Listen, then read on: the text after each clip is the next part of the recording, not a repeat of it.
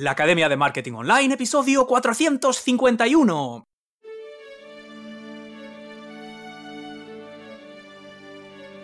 Hola, hola, hola, buenos días, buenas tardes o buenas noches y bienvenido, bienvenida a un nuevo episodio de la Academia de Marketing Online. Como sabes, tu podcast realista sobre negocios en Internet, estrategias de marketing digital y emprendedores incansables. Yo soy tu anfitrión, Oscar Feito, y seré tu guía en este viaje a través de los negocios en Internet que comenzamos allá por el año 2014. Durante casi una década hemos acompañado a 5 millones de emprendedores que han encontrado aquí su dosis semanal, su pastillita semanal de formación, inspiración y motivación para alcanzar sus objetivos. Y aquí seguiremos mientras tú sigas escuchando. Bueno, hoy vamos a hablar de una de mis cosas favoritas con una de mis emprendedoras favoritas. Ella requiere pocas presentaciones porque no es la primera vez, ni siquiera la segunda, que nos ha acompañado en el programa. Su primera visita fue en 2016. ¿Tú recuerdas en qué punto estaba tu negocio y tu vida por aquel entonces? Yo sí. Mis hijos tenían 10 años, aún no estaban narcotizados con el móvil y todavía podíamos ir de la mano en público. Nuestra invitada ni siquiera era mamá. Hoy los míos están en la universidad y nuestra invitada ha sido mamá primeriza a los 45, dando a luz a los 46, un hito personal que también ha tenido un impacto brutalmente transformador en su vida personal y profesional. Te cuento. Mi amiguita Elia Guardiola es fundadora de Story Emotion, la escuela especializada en la magia del storytelling, marketing de contenidos con un alto voltaje emocional y copywriting, pero del bueno. Ha desarrollado su propia metodología para escribir historias que inspiran, cautivan y venden y viaja por medio mundo compartiendo su método en conferencias, empresas y escuelas de negocio por todas partes. Hoy vamos a descubrir con Elia cómo funciona su metodología para impactar con las historias y cuáles son los cuatro pilares del marketing emocional que la sostienen. Y fíjate, ni siquiera tenemos que movernos de aquí. Abre el corazón y enchufa la mente, que despegamos. Bienvenida por tercera vez, Elia, a la Academia de Marketing Online y gracias por estar hoy con nosotros. ¿Qué tal estás? Hasta luego, ¿eh? Esta presentación ha sido todo el podcast. Hasta luego.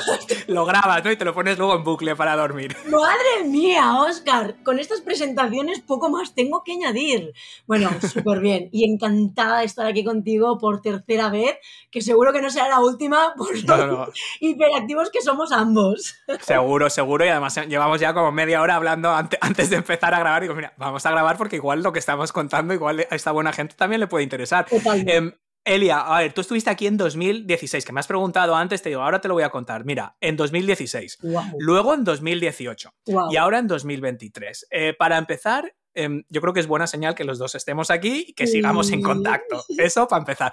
Eh, ¿Cómo ha evolucionado Elia Guardiola desde la última visita en estos últimos años? Wow, creo que, fíjate, eh, parecerá un poco contradictorio, pero para evolucionar me he dado cuenta que a veces hay que involucionar.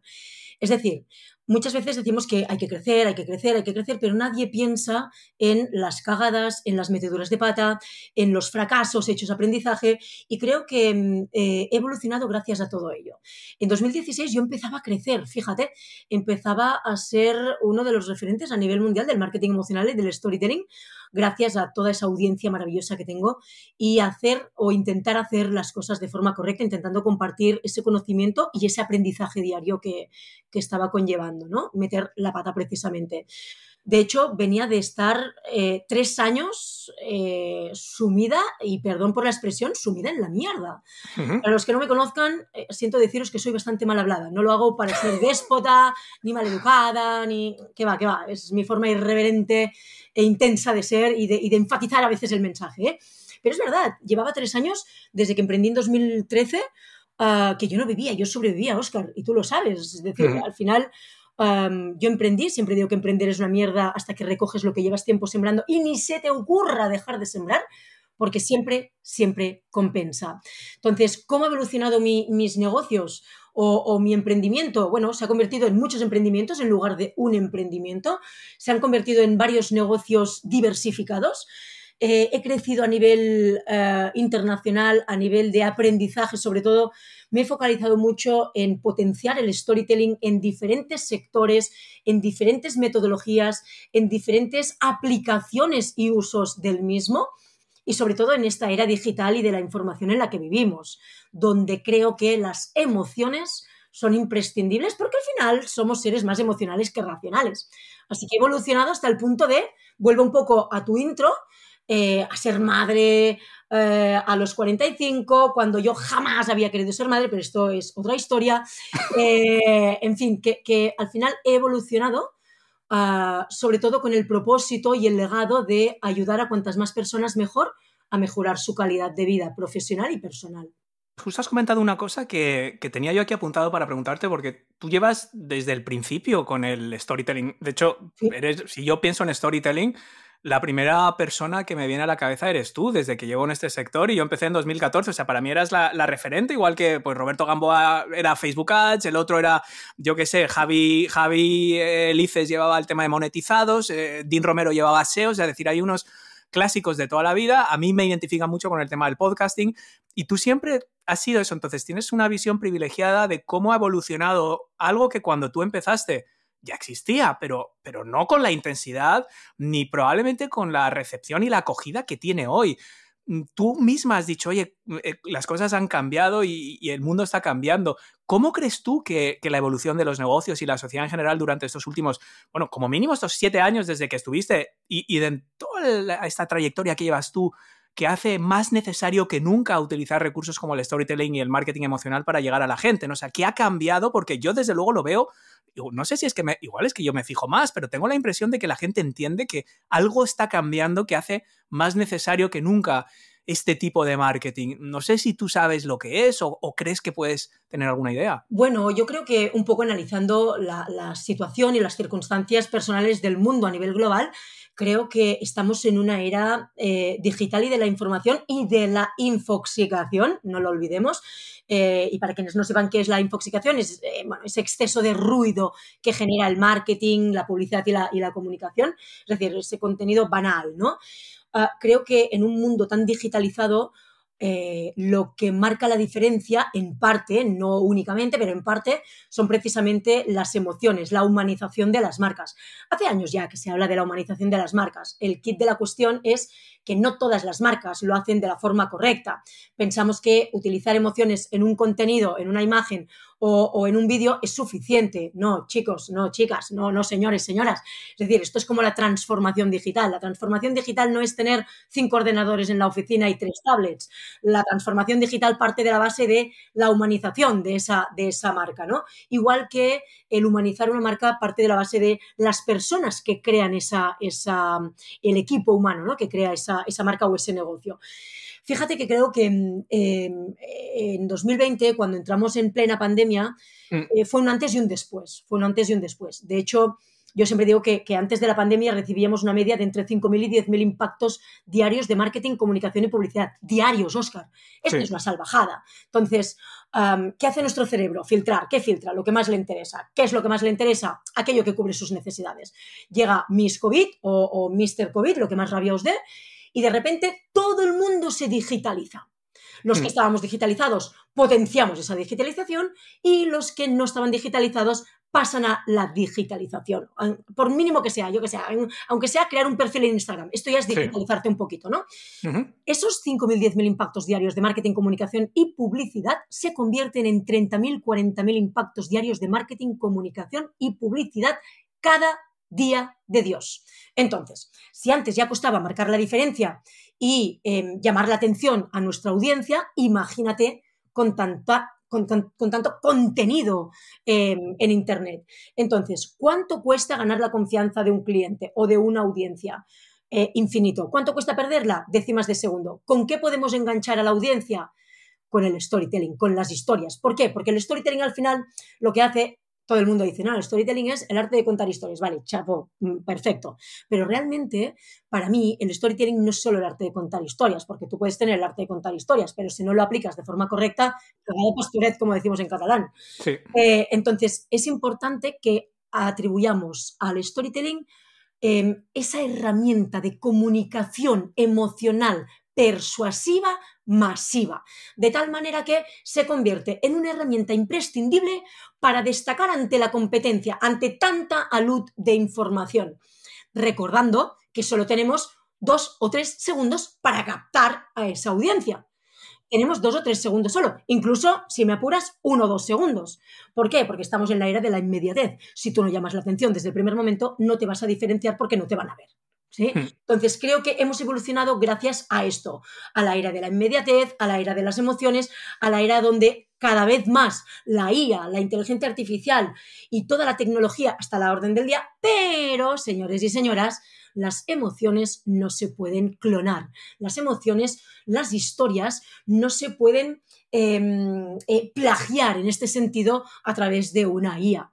Entonces, las emociones, las historias son imprescindibles para marcar esa diferencia. El storytelling tiene un alto componente emocional. De hecho, cuando has dicho, bueno, es que, claro, el arte de contar historias, pues hay muchas historias. O sea, mm, no sé, Pulgarcito va no sé dónde, hace no sé qué, mm, este salió a la calle, le pasó lo de.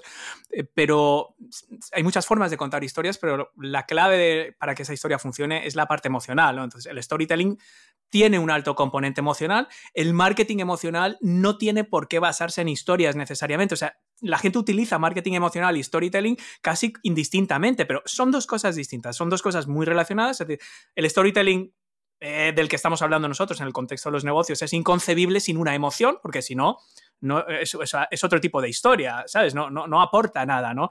Y también se pueden usar emociones en, en, un botón de compra, en un CTA, en un asunto de un email, sin necesidad de contar una historia. O sea que para mí, un poco ejerciendo aquí de abogado de, de defensor del oyente, separar estas dos cosas que de todas formas van a estar muy entrelazadas a lo largo de este episodio.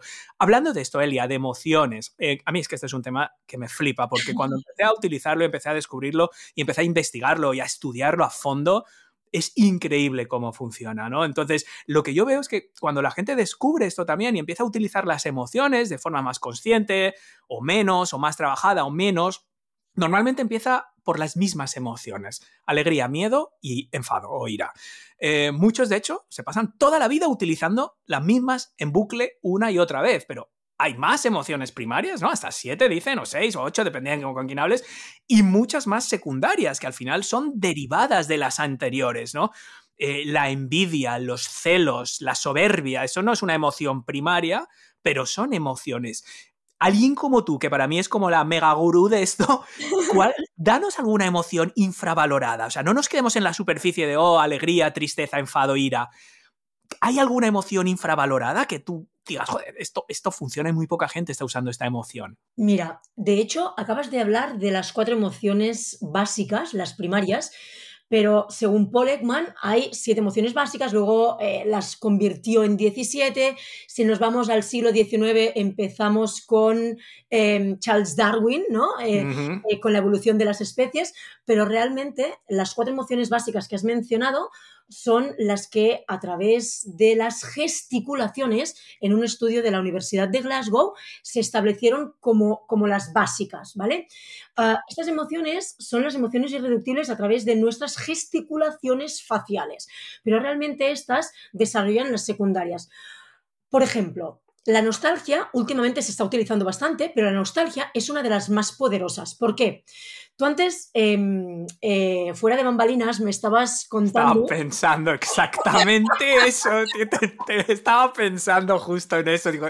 Claro, antes me contabas que con tus hermanos has creado un podcast sobre cine, pero no lo llamas podcast de cine, sino que lo estás llamando. Eh, ¿cómo, ¿Cómo lo llamaste? Es un viaje en el tiempo. Un viaje en el tiempo. Me encanta.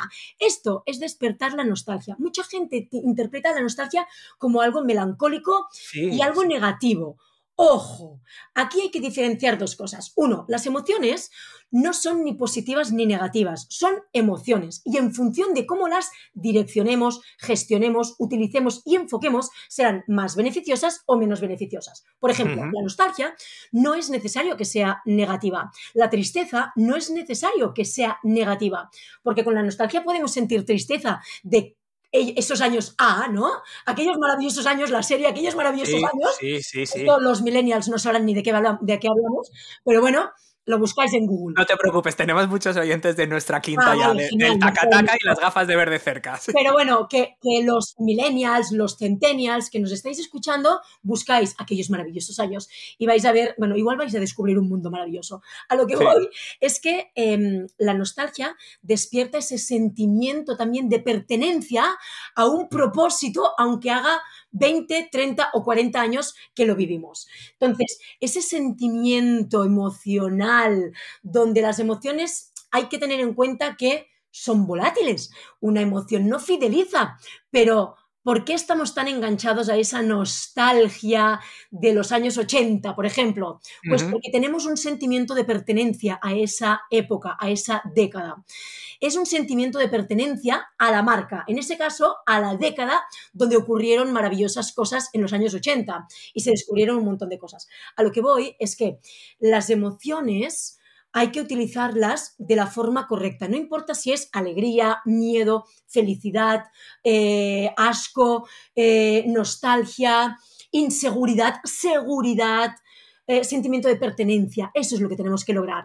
Que cuando nosotros con nuestra marca utilicemos una emoción concreta, despertemos ese sentimiento, porque las emociones no fidelizan, las emociones son volátiles, son mm. fluctuantes, son líquidas, duran segundos, pero si cada día trabajamos con nuestros contenidos, nuestra estrategia, sean los contenidos que sean y el formato que sea, ¿eh? ah, las trabajamos cada día, vamos a despertar un sentimiento. Ese sentimiento es el que tiene que ser coherente y consistente a lo largo del tiempo para convertirse en un sentimiento de pertenencia a la marca y hmm. con ello lograremos embajadores de marca, evangelizadores, brand lovers, que lo que harán es hablar de nuestra marca. Ojo aquí, importante. Voy a hablar de, no sé si es una de las preguntas que me vas a hacer, pero viene a colación de lo que estamos diciendo, ¿eh? porque no me acuerdo ni de las preguntas que me pasaste. No te pasé ninguna. Ah, vale, es verdad, es que no me las pasaras, que a mí me gusta improvisar. Sí, sí. Creo que queda mucho más natural y creo que la audiencia va a disfrutar más de esta conversación como si estuvieran con nosotros tomando. Totalmente. A lo que voy, em, hay, dos conceptos. Em, para mí uno es storytelling, que es, la base fundamental donde nació en la época de las cavernas, ¿no? con las pinturas rupestres. Y luego está el concepto story experience, que es un concepto que desarrollé yo y es, tiene sentido. ¿eh? Mirad, en el storytelling la marca define la experiencia. Es decir, nosotros como marca creamos un contenido enfocando a una emoción concreta, de tal manera que queremos que la audiencia viva una experiencia concreta gracias a la emoción que estamos evocando a ese contenido. Ahora bien, posteriormente existe el Story Experience, que es, dependiendo del estado emocional en el que nos encontremos, eh, eh, la audiencia, van a despertar una emoción u otra y van a definir la experiencia de la marca. Es decir, insisto, en el storytelling hay una intencionalidad de la marca para despertar una emoción concreta a la audiencia, donde la experiencia va a ser la que la marca define. Pero en el Story Experience, dependiendo del estado emocional en el que se encuentre la audiencia, la audiencia va a definir la marca en base a esa experiencia. Es decir, hay una condicionalidad. Por eso es tan importante utilizar todas y cada una de las emociones. Ahora bien, voy a soltar, a mí me encanta hacer preguntas incómodas. Sí, sí. ¿Qué emoción despierta tu marca? Esta es la pregunta del millón que tenéis que haceros. Si tú no quieres despertar miedo, ¿para qué, para qué carajos, iba a decir una palabrota, ¿para qué carajos vas a despertar miedo? Entonces, primero tienes que definir qué emociones despiertan pero yo, por ejemplo, eso, fíjate, es una cosa que siempre, y estoy súper de acuerdo, y de hecho los oyentes saben que lo he dicho más de una vez, a mí no me gusta meter miedo a la gente. A mí no me gusta poner, mm, poner a la gente entre la espada y la pared. Em, todos sabemos lo que te puede pasar si no cuidas el colesterol. Todos sabemos lo que te puede pasar. Entonces, si yo vendo ese tipo de productos o servicios, yo no quiero que tomen una decisión por miedo. Yo no quiero meterles ese miedo porque la gente ya sabe lo que le puede pasar. O sea, no, no quiero. Y siempre he sido muy reacio, igual que el decir, oye, esta farruquería que está de moda ahora de, oye, mira, te apuntas si quieres y si no tú te lo pierdes, que en el fondo todo es una copia de Irra Bravo, o sea que todos lo sabemos y, y, yo a Irra le conozco, le quiero mucho y ha estado en este podcast casi tantas veces como tú, yo creo que también ha estado tres veces y le conozco desde antes de que fuera famoso y él es, un, es así, es un tío genuino y es un encanto de persona, pero la imitación de, no, es que ahora soy así, ahora te meto esto, es que es tan cartón piedra que, que es que no estás transmitiendo nada. Ojo, también depende, mira, e, el storytelling, la base del storytelling son las historias, pero muchas veces, ah, a mí, por ejemplo, cuando me viene un cliente, ya sea una marca corporativa internacional de 10.000 mm, trabajadores como una marca personal, me da igual, ¿eh? Ah, siempre dicen es que no tenemos nada que contar o no sabemos cómo contarlo. Eso son dos cosas diferentes, ¿vale?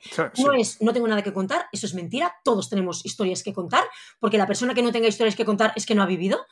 Y dos, es la forma en la que contamos. ¿Por qué digo eso?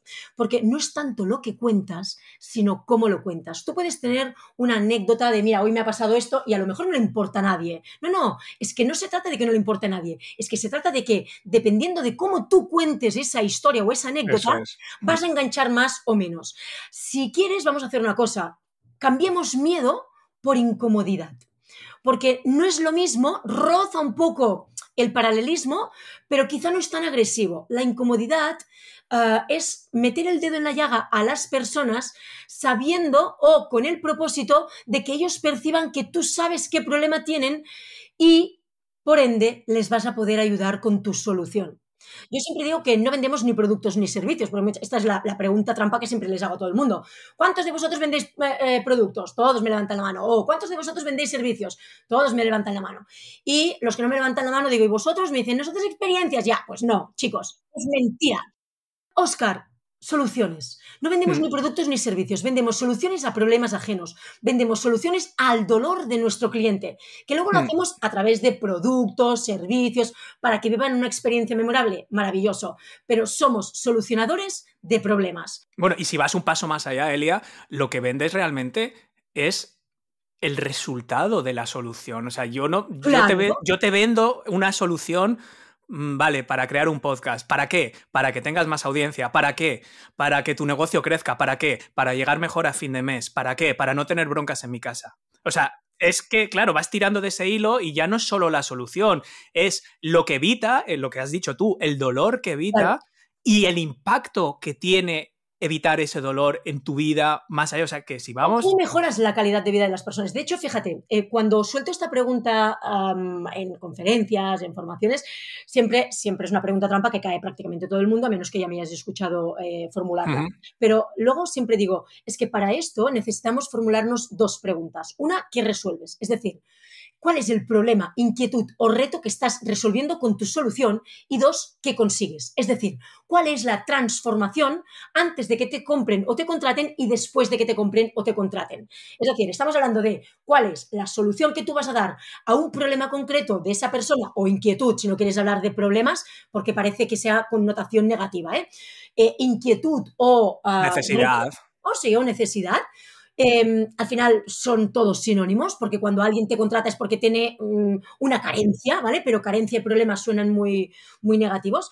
Eh, y luego, ¿cómo vas a ayudarles? y, con tu ayuda, con esa solución, ¿cómo vas a mejorar la calidad de vida de esa persona profesional y personalmente?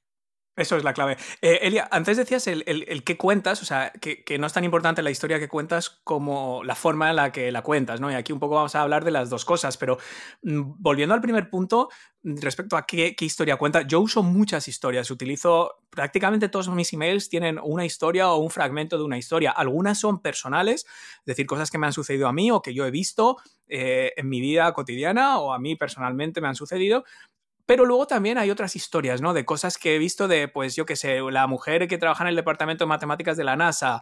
Eh, el otro día escribí sobre la diseñadora que hizo el logo de Citibank, eh, sobre FedEx, sobre algo que hizo fulano de no sé qué, sobre un acontecimiento histórico. Y entonces, también la gente a lo mejor se lía al decir, no, es que la historia, cuando hago storytelling, tienen que ser, pues, pues ayer, hoy me he levantado y me he tropezado y me da un golpe en el pie y tal. O no, o sea, mm, sirve cualquier tipo de historia, son más efectivas si nos han sucedido a nosotros, lo que cuenta es la emoción que destilamos de esa historia, ya sea propia o ajena, o sea, a la hora de encontrar la historia, ¿tú tienes alguna preferencia, alguna recomendación? Eh, yo creo que, que, hacer un mix de ambas, siempre y cuando esté equilibrado. Es decir, ni siempre, a lo mejor hay gente que siempre cuenta sus historias porque, bueno, pues porque a lo mejor le está funcionando muy bien y hay quien eh, eh, los símiles, es que dentro de la narrativa, no olvidemos que la narrativa es un estilo literario y se utiliza para crear storytelling también. Entonces, cuando tú haces símiles, analogías, esto funciona muy, muy, muy bien. Si tú empiezas em, contando la historia de la mujer que trabajó en la NASA, Ah, y luego lo hilas, porque al final necesitamos hilos conductores. Eso seguro, eso ya es en el cómo, ahí ya entramos en el claro, pero sí que es importante que cuando tú hagas, es que yo creo que es un, mix de ambos. Si tú quieres contar una historia, porque yo qué sé, imagínate que yo hoy leo una anécdota de Warren Buffett, por ejemplo, y que empezó de cero y tal, y, cómo creció a nivel eh, de, bueno, convirtiéndose en uno de los consultores sobre economía y finanzas más importantes del mundo em, yo no quiero ser Warren Buffett, pero a lo mejor algunos de esos aprendizajes me ayudan a mejorar mi negocio. Esto yo puedo empezar con una anécdota de, Warren Buffett y cómo apliqué una de sus frases a mi negocio o a mi modelo de negocio si esto yo tengo un buen hilo conductor, esa historia que no es mía, pero que la he, implementado en mi propia historia, ah, me puede funcionar para captar mejor la atención, porque mucha gente se identificará con la situación que yo estoy viviendo y cómo, gracias a una frase o a una metodología de Warren Buffett, eh, yo mejoré mis negocios. Fíjate que aquí al final todas las historias eh, eh, se personifican en ti o en cómo a ti te han impactado. Ya si es algo que...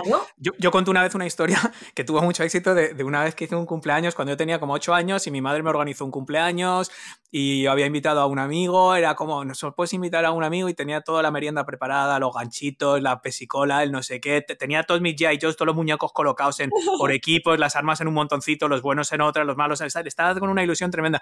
Y llamó al final la madre del niño que el niño no podía venir que el niño se había oh. puesto enfermo y fíjate, la emoción está clara, eso es una historia que me pasó a mí, pero lo que detecto que, que, es un gran punto, es decir, si yo te cuento una historia, algo que ha pasado hoy en el telediario, o algo que ha pasado hoy en la Eurocopa, o algo que ha pasado, o la historia de Warren Buffett que has leído, si yo intento relacionar eso con algo que ha pasado en tu vida, perfecto, o sea, con algo que te puede pasar a ti, con una emoción para ti, bien, pero si yo te explico cómo eso me ha afectado a mí, y luego lo hilo con lo tuyo, o sea, una vez más, el denominador común siempre pasa, siempre pasa por ti al final.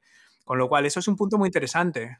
Sí, lo que pasa que también es verdad que em, depende, esto a veces tenemos que, saber diferenciar en si es una marca corporativa o es una marca personal. Cuando somos marcas personales, la gente quiere saber de nosotros. Esto es, indiscutible.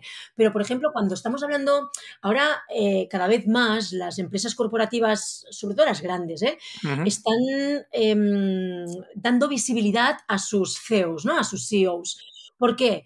Porque hay que humanizar a la marca y la marca necesita humanizarse a través de las personas o cuentan historias de sus propios trabajadores, de, de su propio equipo. Ah, no me gusta hablar de empleados, ¿eh? fíjate que hablamos de empleabilidad, pero a mí la palabra empleado como que me rechina un poco. Pero sí equipo humano, ¿no? O igual que activo, activo, madre mía. Ah, esto es frialdad absoluta. A lo que voy es... Se habla la CIA, son un activo, un activo encubierto, sí. No, suena muy, muy raro esto. Entonces, al final creo que, mm, las historias parten de, la humanidad de ellas. Tú no puedes, bueno, pues sí, también podemos humanizar una botella de agua, también podemos humanizar un bote de salsa. De... ¡Uy! Me ¡Uh! ¿Sabes qué se me acaba de pasar por la cabeza? Calla, calla. Madre mía, siempre menciono cuando me preguntan, ¿pero se puede hacer storytelling con cualquier cosa, incluso ah, con una empresa de construcción? Y siempre te menciono, me, uh, me acabo de acordar, Oscar, la primera entrevista que me hiciste en 2016, me preguntaste esto, ¿se puede hacer storytelling o marketing emocional con todo? Y te puse el ejemplo de una rueda de coche y de un bote, un tetrabric de salsa de tomate. Y te expliqué la historia de la rueda, que es algo que es material, eh, es para llevar a personas dentro del coche donde esas personas están viviendo una experiencia memorable a través de un, em, eh, un viaje o lo que sea. Y el bote de salsa de tomate, pues el tomate es parte de la naturaleza, de la tierra madre, no sé qué hay un ejemplo 100% real ahora que estás diciendo esto. Yo siempre pongo el ejemplo de los tubos de acero, o sea, lo que me parezca lo menos glamuroso, lo menos sexy del mundo, decir, una... pero es que el otro día escuché, ahora que has dicho rueda, esto era un, bar o un restaurante en Estados Unidos que, que había hecho las mesas, eh, había comprado vigas de ferrocarril o, la madera estaba sacada de, no, recuerdo exactamente de dónde, pero creo que eran de, vagones de ferrocarril antiguo. Y, y, entonces, claro, pues habían ahorrado mucho dinero porque era tal. Entonces, habían conseguido saber un poco de qué ferrocarril, qué ruta hacía y eran de, pues yo qué sé, del siglo, de principios del siglo XX, algunas incluso del XIX, que era madera casi carcomida, pero con un cristal pulida por encima. Y, y, lo que ponías en cada mesa habían puesto un código QR de qué ruta hacía ese ferrocarril y uno, pues uno llevaba naranjas, el otro llevaba para la fiebre del oro a, las zonas de Utah, a las zonas de Minnesota, de Montana, y contaba una breve historia de dónde había salido el trozo de madera con el que estaba esa mesa. No me digas que, o sea, una mesa. Es brutal. y eso es real, ¿eh? esto lo he escuchado en un podcast real con ese ejemplo real. Elia, vamos a pasar un poco al cómo lo hacemos, porque a menudo Em, vamos a imaginar que ya tenemos historia, historias ahí por todas partes, pero se suele utilizar la famosa estructura esta en tres actos, ¿no? Con un, con un planteamiento, un nudo, un desenlace para contar cualquier tipo de historia, ¿no? Desde una peli o una obra de teatro hasta un email o incluso puedes organizar así tu webinar. Dentro de esta estructura se usa el viaje del héroe, hay otras. Em, ¿Cómo estructuramos la historia? Una vez tenemos la historia, decir, mira, esto es lo que me ha pasado hoy en el médico, o esto es lo que he visto hoy en el autobús, o esta es la noticia, o esto es lo que he leído, o esto me pasó a mí de pequeño. ¿Cómo hilamos esa historia? Tú todo el rato has hablado de hilar, de conectar, de, que haya un, un, desarrollo, de que fluya esa historia. ¿Qué tiene que fluir? O sea, ¿se puede simplificar? ¿Hay una fórmula? Yo creo que, de hecho, no creo en las fórmulas mágicas ni en las verdades absolutas. Al final es todo muy personal, pero fíjate, em, claro, hablas del viaje del héroe. Eh, es de, Joseph Campbell, el, héroe de las mil caras. ¿eh? El libro, eh, por si alguien no lo ha leído, El héroe de las mil caras de Joseph Campbell es donde se explica el viaje del héroe. Que para quien no lo sepa, empezamos en, en, un mundo ordinario y a través de la experiencia, del camino, nos vamos encontrando nuestro guía o nuestro mentor que el mentor y el guía no hace falta que sea un gurú, puede ser la panadera de nuestro pueblo. Eh, y convertimos ese mundo ordinario en un mundo extraordinario. Y así toda la santa vida. La estructura del inicio, nudo y desenlace, eh, yo vengo aquí a romper esquemas, ¿eh? pero el nudo y el, inicio, todos sabemos que una historia empieza con Once Upon a Time, ¿no? Érase una vez, claro, pero Érase una vez, si yo empiezo, érase una vez, Elia Guardiola nació el 1 de octubre de 1976, a las 8 de la mañana, un viernes lluvioso. ¿A quién coño le importa cuándo nací yo? Eh, si estaba lloviendo, no. Claro, a ver, si lo explico y lo cuento con este tono de voz y demás, a lo mejor engancha, pero a nadie le importa cuándo nací. Por eso, hace unos años, creé mi propia metodología y rompí un poco los esquemas, pasando el nudo de la historia, que es donde está la chicha, donde está el valor de la historia, al inicio. y el desenlace, el desenlace, que es el presente, lo puse en el nudo. ¿Por qué hiciste esto, loca? Pues lo hice porque en esta era digital en la que vivimos tenemos dos segundos para llamar la atención. Yo no tengo, si el inicio dura 10 segundos, yo ya he perdido a toda la audiencia. Estás depositando a tu audiencia en mitad de la acción y no sabe qué leches está pasando. Tiene que seguir leyendo para ver qué pasa. O sea, es decir, si yo empiezo un email diciendo estaba tirada sobre el suelo. Ah, me encanta. Había un charco de sangre al lado. Coño, ¿qué ha pasado? ¿Sabes? ¿Qué ha pasado? Esto te pasó ayer, lo has visto en la calle, estabas viendo una peli. Tengo que. Si yo empiezo a decir, Ayer estaba cansado, así que decidí ponerme una peli. Miré Netflix, pero Netflix estaba apagado, no, no funcionaba. en la segunda frase ya estoy roncando. Ya estás roncando, claro. Empiezas, es lo que tú has dicho, Elia, me parece genial, o sea, de genio, de genio, eh, que es, y es un consejo brutal, mm, empieza tus emails, empieza lanzando a tu audiencia, a tu oyente, a tu al barro. al barro a mitad de la historia y que diga, ¿qué está pasando? ¿Dónde estoy? Pero ojo, porque si, si lo hacemos con nuestras marcas, con nuestras historias, eh, es importante, por ejemplo, si hablamos de storytelling, de nuestra historia, ¿eh? la que tenemos en sobre mí, quién soy, conóceme, nuestra marca, nuestra historia, en la página web, por ejemplo, ah, es importante hacernos una pregunta Mm, básica y es a partir de qué momento quiero que los demás sepan de mí y a partir de qué momento a los demás les va a interesar saber de mí. Son dos preguntas imprescindibles. Porque, por ejemplo, yo en mi historia eh, empiezo que con 27 años me fui a Menorca eh, a trabajar de, eh, ayudante de recepción y luego me convertí en directora de hoteles. Pero yo antes estuve siete años en el registro de la propiedad. ¿Por qué no lo cuento? Porque a nadie le importa si yo estuve siete años en el registro de la propiedad. ¿Qué valor aporta a mi audiencia? Cero patatero. Pero si yo hablo del, mundo del turismo, aporta valor porque yo tengo muchos clientes del sector del turismo, hoteles, restaurantes, guías turísticos, etc. Eh, entonces, todo esto es importante de que enganchemos a la audiencia diciéndoles, hey, yo hago esto y te puedo ayudar en esto. Hmm. En el, en el nudo lo que hacemos es decir, ¿qué estoy haciendo ahora mismo? ¿Vale? ¿En qué te puedo ayudar? Y diréis, ya, chata, pero una historia necesita un desenlace. Entonces, ¿qué pongo en el desenlace? En el desenlace, mi recomendación es que pongamos los retos. ¿Por qué los retos? Porque todos hacemos, bueno, aquí seguramente la mitad de la gente que nos está escuchando eh, hacer listas de propósitos el 31 de diciembre o en septiembre, da igual. Y seguramente ninguno de ellos la cumple. Bueno, uno de los dos puntos, tres, vete a saber. Las listas de propósitos son como los Reyes Magos, son los padres, es mentira.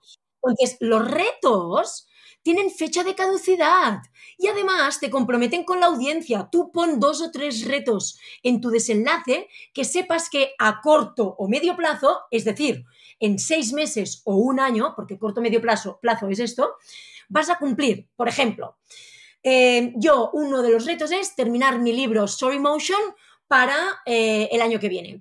Otro de los retos es, que este ya lo tengo que dejar para 2025, hacer un eh, tour de talleres presenciales en Colombia, que esto llevo desde el 2019 posponiéndolo pues, por pandemia, luego por embarazo, parto y demás historias. Entonces, los retos, pon dos o tres retos que te comprometan con la audiencia y esto también les enganche a querer saber más de ti.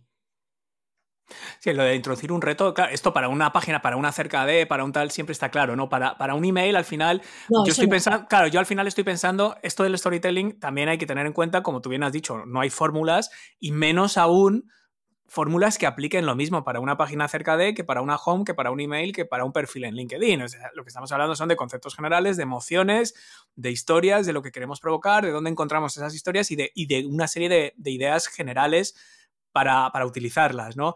Mm, al final, una de las cosas mm, eh, más generales, al final, en todas estas cosas, es que al final hay una llamada a la acción, es decir, si no, es como que dejas a la gente decir, bueno, ¿y ahora qué tengo que hacer? Después de leer tu... Y esto es más o menos universal.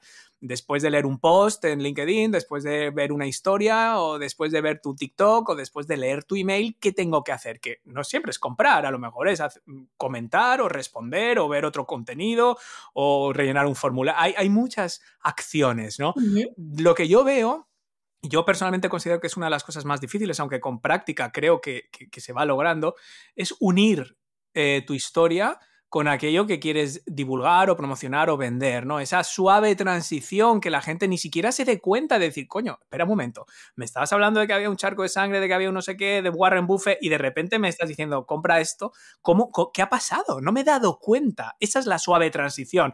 Muchas veces, más que una suave transición, es como, es como cuando una vez mis hijos le tiraron a un vecino francés de lo alto de un tobogán el francés se dio con la cabeza en el suelo y nunca volvió a ser el mismo. Pero bueno, pero eh, eso, es lo que queremos evitar. Lo que queremos es que el niño francés se deslice suavemente por el tobogán y no que le pegues desde arriba y se dé en la cabeza. Entonces, ¿alguna, alguna idea, Delia, para hacer esa suave transición de la historia que, al call to action que en el fondo queremos que, que haga después?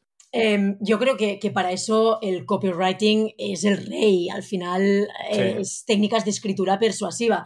Las CTAs eh, que dicen cómprame o véndeme o tal, ah, ya han pasado a la historia. Em, es decir, quiero comprar más información. Esto es ya, em, está muy trillado. Una de las cosas, por ejemplo, que, yo intento hacer en mis CTAs es, yo qué sé, en la escuela Story Motion, bueno, pues si quieren saber más información, o si hablo de cursos, lo que hago es en la CTA es pongo, por ejemplo, voy a verlos, que esa persona cuando lea voy a verlos significa nadie me está diciendo que voy a comprar. Sencillamente que estoy interesado o interesada en ver esas formaciones y voy a verlos. Ahora que dices voy a verlos, me flipa porque tú esto no lo sabías. Yo esta semana he encontrado joyas en YouTube de vídeos de entrevistas muy raras con David Ogilvy, entrevistas muy raras con Eugene Schwartz, ah, eh, vídeos de una hora y pico, o sea, que, la calidad no es buena, pero lo que he hecho ha sido extraer el audio y me las escucho en el coche. Horas y horas y horas. Y una de las cosas que dice Eugene Schwartz es como ese voy a verlo, voy a probarlo. Qué bueno. El probar algo, o sea, reduce la sensación de compromiso. No es lo compro, me apunto, me inscribo. El pruébalo. El pruébalo, el voy a verlo. Eh, luego, otra, otra opción es volver a ponerle un lacito a ese contenido, ese email, ese post, quizás recordando la emoción que queríamos eh, o la que queremos evitar o la que queremos resaltar. Si tú estás hablando, estás contando una historia donde la emoción predominante es asco, es algo que te ha pasado que da asco, y luego lo quieres unir con un contenido, hombre, no vas a decir, y ahora para seguir dándote asco, mira este contenido, pero a lo mejor volver a, enfatizar esa emoción, ¿no? Que, la emoción no esté solo al principio, que es lo que hace mucha gente, te cuentan la historia y luego el resto, cuando te intentan la, acción, ya, no, se te ha olvidado la emoción. Sí, de, hecho, fíjate, em, yo he sido siempre muy autodidacta, mucho, he hecho muchas formaciones, pero al final siempre he sido muy de probar cosas, ¿no? De, de prueba, error, prueba, error y sobre todo em, de si doy formación, al menos poder hablar desde mi propia experiencia. Una de las cosas que a mí me rechina muchísimo y me, y me cansa son los formularios de contacto donde es nombre, email y demás. Yo, por ejemplo, para mí es muy agresivo, agresivo porque es como, ¿para qué puñetas te voy a dejar yo mi email o tal, no? Entonces, yo lo cambié hace muchos años ya en los formularios de contacto de la escuela y de, y de mi página por déjanos tu nombre o déjame tu nombre en lugar de nombre y en lugar de email yo pongo nos regalas tu email, que es como que te estoy diciendo que tú me haces un favor a mí, aunque te lo esté haciendo yo a ti. Entonces, eh, em, ¿cómo convertimos una palabra tan fría eh, como es email y la convertimos en ¿nos regalas tu email? Es como que le estás pidiendo permiso a esa persona, que no se lo estás pidiendo, porque esa persona es la que está interesada en escribirte.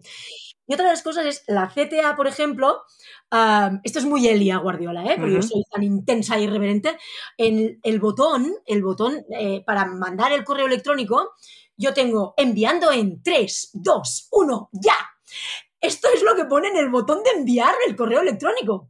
No es un enviar, no, no, te estoy es que es ya ese, esa emoción de urgencia que te hace clicar sí o sí, pero que encima no es agresivo porque dices, wow, es que es hasta divertido, ¿no? Enviando en 3, 2, 1, ya. A mí hay una cosa para la gente que quiera probar eh, distintas CTAs, o sea, no distintas CTA, misma CTA de dos formas distintas. Y esto me parece de genio absoluto. Yo esto se lo escuché a, a, a, quién se lo escuché yo, a quién se lo leí yo esto.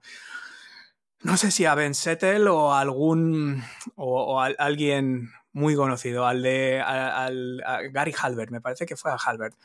Y, y aquí el tema es, si yo tengo un email y tengo, imagínate, dos, dos, links, ¿no? Dos links al mismo producto. Yo estoy vendiendo un producto y en ese email voy a poner dos links. O en una landing page tengo dos, dos, botones o tres botones para lo mismo. Lo pones arriba, lo pones a la mitad y lo pones al final.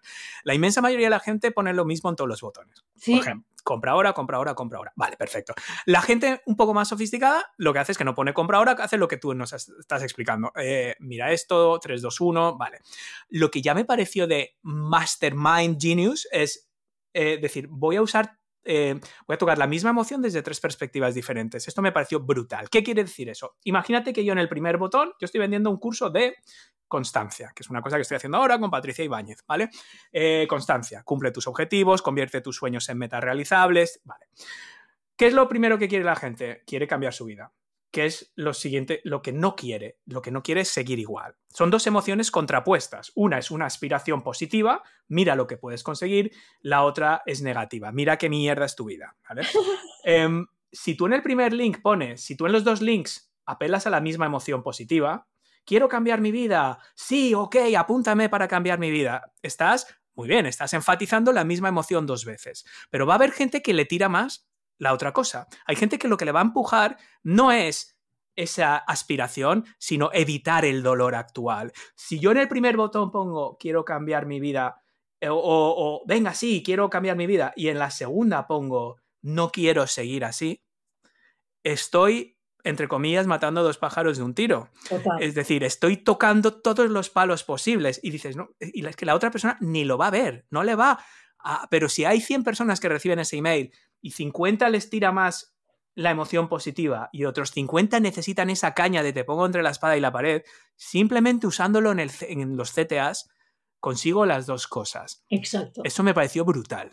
Sí, sí, es mastermind total. ¿eh? Total, total, eso es, eh, eso es muy top, esto es muy top. Te estamos desvelando demasiadas cosas, yo creo demasiados truques. Eh, yo creo que esta conversación nuestra está siendo una masterclass total, ¿eh? Sí, hay de todo, es que fíjate, y dices tú, es que yo soy autodidacta, y yo, porque es que lo, esto, esto avanza tanto y cambia tanto y si, aunque es verdad que los principios son universales, porque las emociones yo creo que son universales y ya has dicho tú que vienen de la prehistoria y tal, la forma de, de utilizarlas yo es una evolución constante porque vas aprendiendo un poco de... Oscar. Yo creo que al final es también por, por hábitos de consumo y, y hábitos de, de, la vida diaria de Las personas, no, tú no puedes dirigirte a tus clientes sin entender el contexto en el que viven.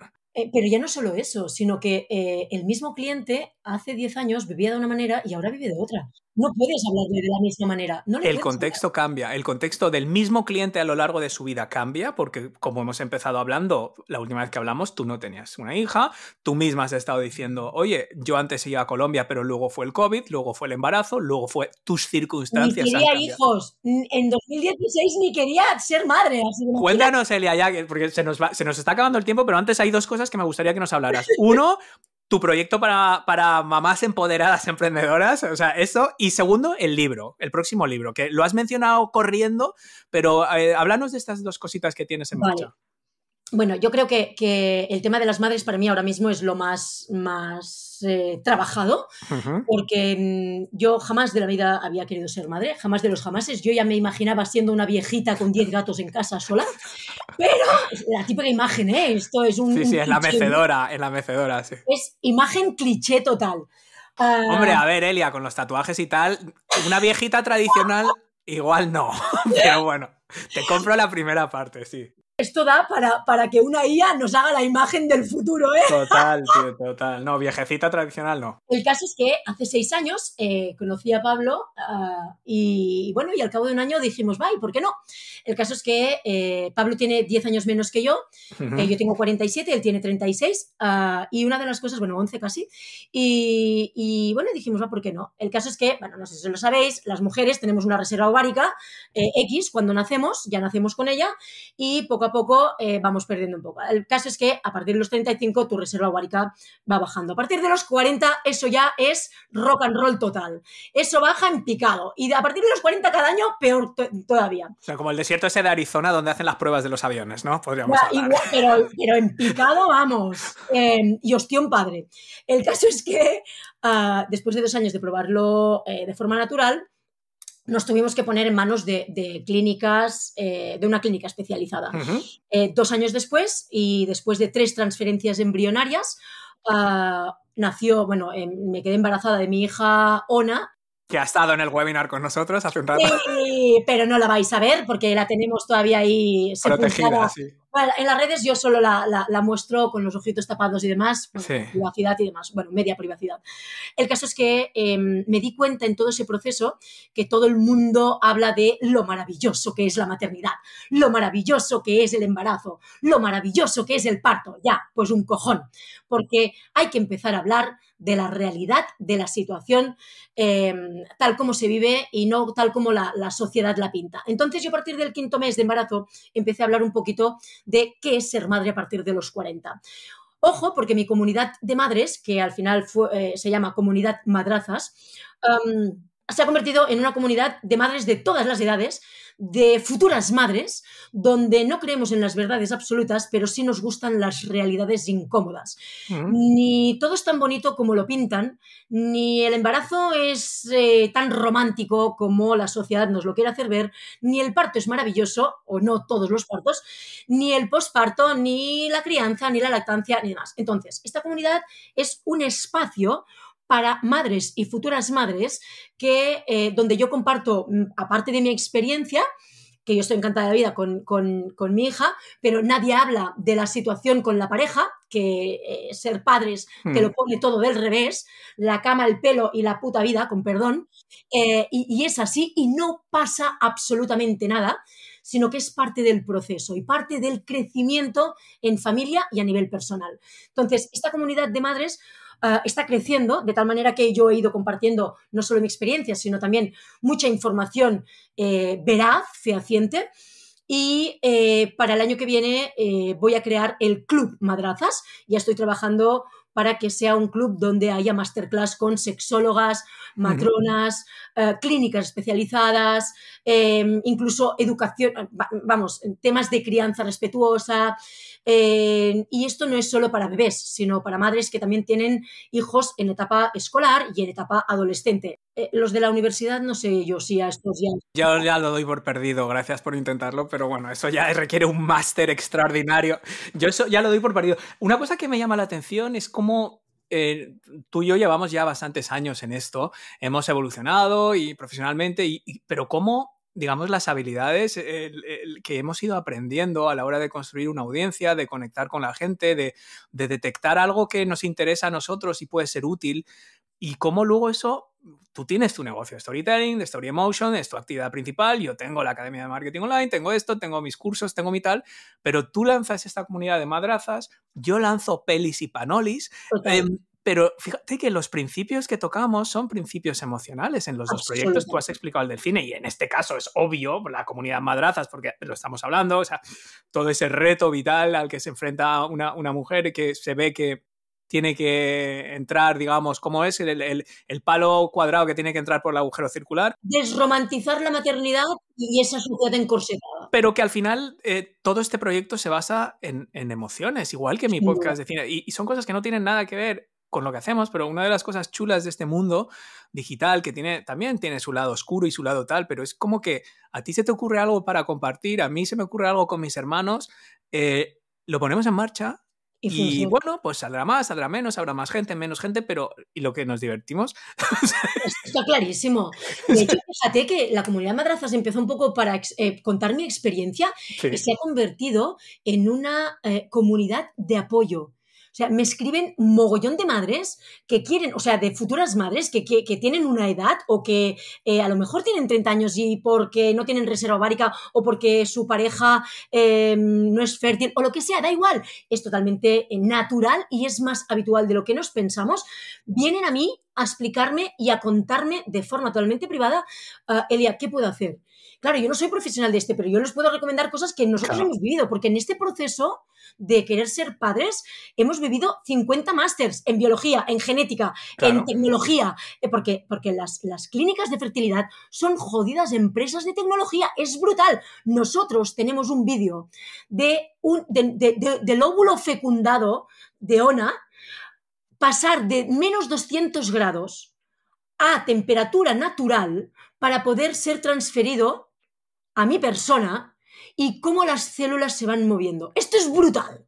Es que aparte, esa vuelve a una cosa que has dicho al principio del todo, em, que es en este mundo tan saturado, con esa e, e, explosión de mensajes y de impactos publicitarios que reclaman nuestra atención, en la economía de la atención, mm, la gente tiene diversas necesidades, que son las mismas necesidades que ha tenido siempre, pero, pero cada vez es más difícil saber a quién ir, ¿no? Entonces lo que estamos viendo es que, aunque yo no soy un experto en cine, aunque tú no eres mm, ni psicóloga, ni sexóloga, ni ginecóloga, mm, que la gente tampoco se va a ir a operar contigo, ni a tener, ni, ni, lo, lo, que, lo que se guían es la confianza.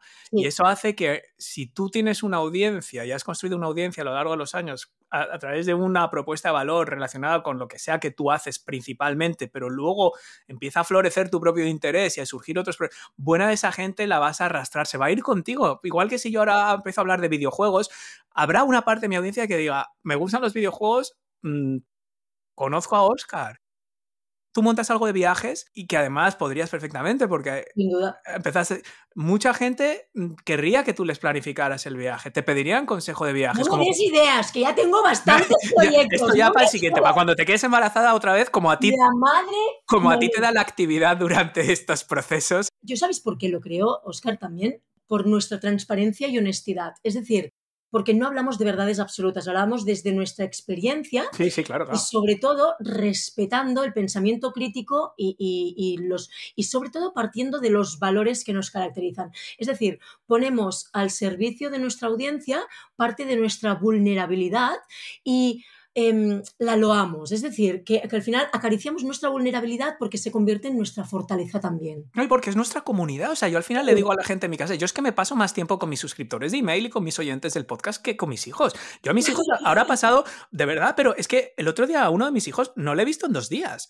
¿Pero por qué? Porque se levanta a las 6 de la mañana, entra a clase a las 8 de la mañana eh, entonces, eh, se levanta a las 6 de la mañana y luego por las tardes, pues algunos días se va a jugar al fútbol y vuelve tarde. Luego, ah, como el miércoles no tiene clase, el martes Elias viernes, ¿vale? Esto lo vas a aprender dentro de unos añitos. Como el miércoles no tengo clase, el martes es viernes. El martes es viernes. Cuando vaya, vaya a, la edad de tus hijos, ya a lo mejor han cambiado las cosas y solo van al cole tres días. Sí, el martes es viernes, el viernes es viernes, el sábado es sábado y así todo. Entonces, yo pasan dos o tres días que no les veo. Entonces, yo digo, si es que esa no es solo que nuestra comunidad tenga una necesidad de conectar. Es que nosotros somos los que necesitamos una comunidad también para conectar. Con lo cual va en dos direcciones. Eh, Elia, ya sí que sí que sí que sí, para terminar, el libro, el libro. No quiero que, que se nos quede lo del libro. ¿Para cuándo? Bueno, ese para cuándo llevo siete años intentando que sea, así que. Eh, Cualquier día de esto. Editorial, Anaya, yo creo que ya me, han dejado por imposible. Pero es que las circunstancias son las que son y he priorizado otras cosas que no ha estado mal. Pero sí, el libro Story Motion es un poco la recabación de, gran parte de mi experiencia con storytelling y con marketing emocional, todo lo que yo he aprendido, mis metodologías, mis teorías, eh, sobre todo en base a la experiencia. ¿eh? Esto no, es, no son falacias, sino realidades que yo he ido viviendo sin verdades absolutas pero em, sí que es cierto que estoy preparando cositas eh, con storytelling, inteligencia artificial y transmedia storytelling. Ahí lo dejo. Ahí lo dejo para la próxima. Elia Guardiola, una mamá tardía según las costumbres convencionales, fundadora de Story Emotion, la escuela de storytelling, marketing de contenidos con un alto componente emocional y copywriting. Muchas gracias por visitarnos otra vez. Ya no sé si hay que decirnos, no hay dos sin tres, ni tres ni sin cuatro, pero bueno, ya sabes que aquí cuando quieras, cuando tengas algo que contar, muchísimas gracias una vez más por visitarnos y hasta la próxima. Un placer, Oscar. Un beso a todos. Aquí termina nuestro episodio de hoy, pero recuerda que tu negocio no termina nunca. Siempre hay algo nuevo que puedes hacer para que te descubra gente nueva, mejorar la relación con los que ya te conocen y generar más ingresos. Lo importante es mantener la inercia, seguir probando, seguir equivocándote, seguir avanzando y sobre todo, seguir disfrutando de cada paso del camino. Antes de irte, no olvides descargar tu kit gratuito para transformar emails que duermen en adictivos emails que venden es una de las habilidades más rentables que conozco y entre www.oscarfeito.com barra bonus te voy a enseñar una fórmula súper simple que genera resultados sorprendentes en poquísimo tiempo. Por último, si te gusta esta dosis semanal de formación, inspiración y motivación que te traigo desde 2014, puedes dejar una valoración positiva en tu herramienta de podcast favorita y compartir este audio para que entre todos podamos impulsar a más emprendedores y emprendedoras en todo el mundo. Gracias por escuchar y te espero, como siempre, en el próximo episodio.